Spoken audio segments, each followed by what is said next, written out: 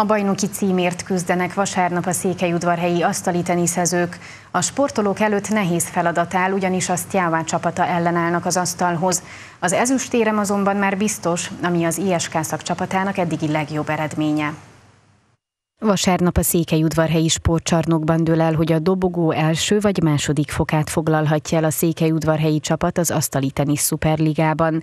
Bár az ISK szak sportolói remek szezon zárnak, hisz sosem kerültek még ilyen közel a bajnoki címhez, nem lesz egyszerű feladatuk, ugyanis azt jává lesz az ellenfelük, amelyben az ifjúsági világranglista élvonalához tartozó asztali teniszezők szerepelnek. Igaz, kedden még lesz egy bajnoki meccs ám az a csata jóval könnyebbnek ígérkezik, mint a címvédő elleni, és tétje csak akkor lesz, ha megverik a bukarestieket. Eddig a Székelyudvarhelyi felnőtt asztali tenisz legjobb eredménye a három évvel korábban szerzett Superliga bronzérem volt.